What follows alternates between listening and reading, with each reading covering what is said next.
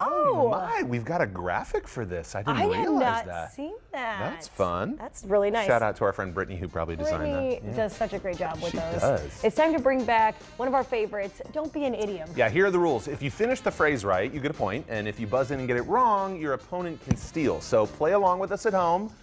Associate producer Abby's going to read these questions. Yeah. Get ready to yell at your TV. Here we go. Okay, okay. Question one, Abby. You can lead a horse to Water, water, but- but you can't make him blink.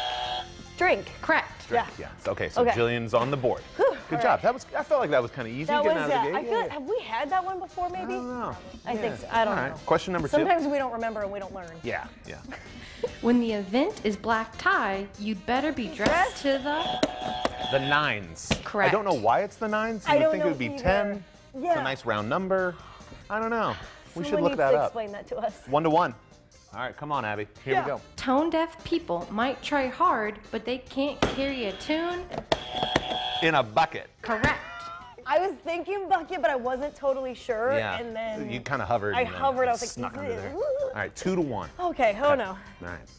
You might leave this open if you were born in a barn. Uh,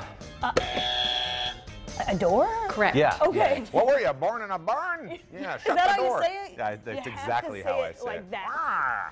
Are you born in a barn? All right, question four. Two to two? Is I don't two know what's two? happening. Two to two. Yeah. Yeah. All right, all right. If you tell tall tales, you'll be known as the boy. Uh, the boy who cried wolf. Correct. Yeah, the boy who cried wolf. Okay. Three to two. This is this is a tight race. This is a here. tight race. Yeah. Okay. Okay. When you have to admit your mistake, you'll be eating this. What? Crow.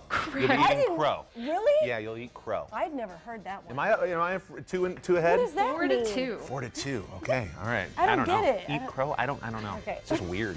Okay. If you're feeling froggy, go, Go ahead, ahead and. and jump. I saw Eric jump. Correct. Feeling froggy. I. Has you, anyone Eric. ever heard that idiom before? Eric was has. off on the side and Any? Okay. All right. Feel froggy. Just might as well jump. Huh. Okay. Great.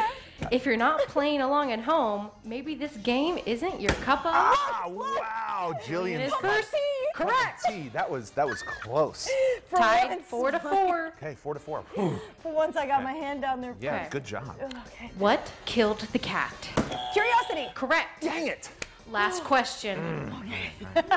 You guys ready? Yeah. Okay. Yeah. The grease from this body part is known to get things clean. Wait, wait, wait. Say it again. So it was different there's a than what was on difference. screen. What was it? The grease from Go ahead. Go ahead. What? The grease there was from a different thing on the the, grease screen. from this body part is known to get things clean. What? Oh, elbow grease. Elbow Correct. grease. Right, right there. there was a snake thing on the. There was a snake thing. It was tied. It was tied. We tied?